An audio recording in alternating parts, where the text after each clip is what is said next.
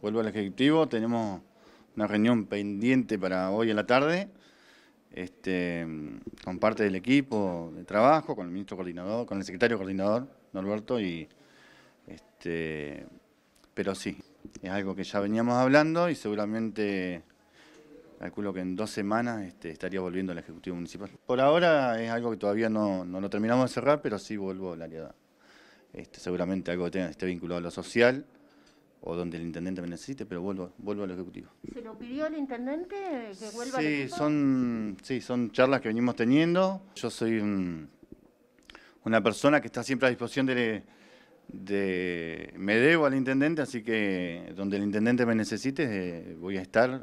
En estos días ya vamos a... Cuando él esté volviendo, que se recupere, eh, vamos a estar este, anunciándolo seguramente. La verdad que linda experiencia, pero bueno, no es lo mío, lo, no es lo mío. Pero... Se notaba que no, no, no estaba cómodo en algunas este, cuestiones, ¿no? eh, sí. Es más ejecutivo.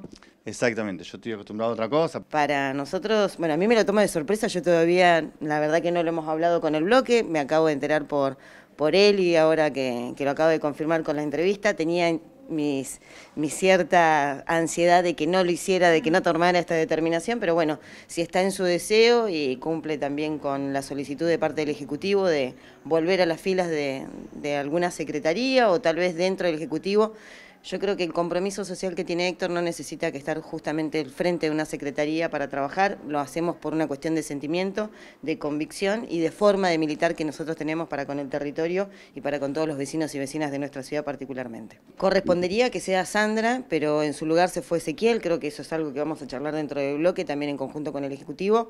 Veremos cómo prosigue en las próximas horas.